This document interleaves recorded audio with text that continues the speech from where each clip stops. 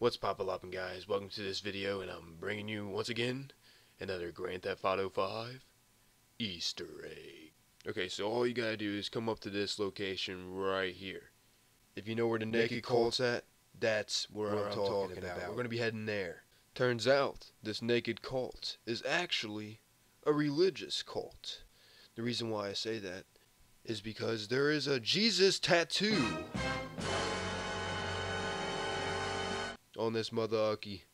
So I'm wondering, does this mean that there's some kind of religious warfare going on? Because, I mean, there's a bunch of guys up here, dressed strangely, blockading themselves away from the woods, out in the middle of nowhere in the mountains. I just think that's kind of odd that some of these members had this huge Jesus tattoo that stands out from everyone else.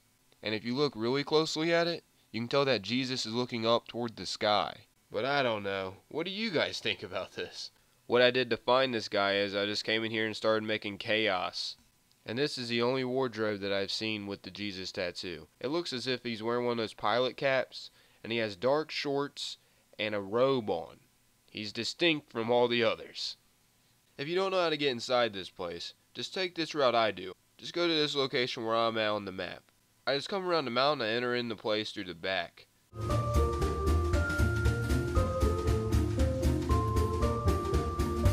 Now, now all these characters have a Jesus tattoo though. I saw another one that had a USA tattoo.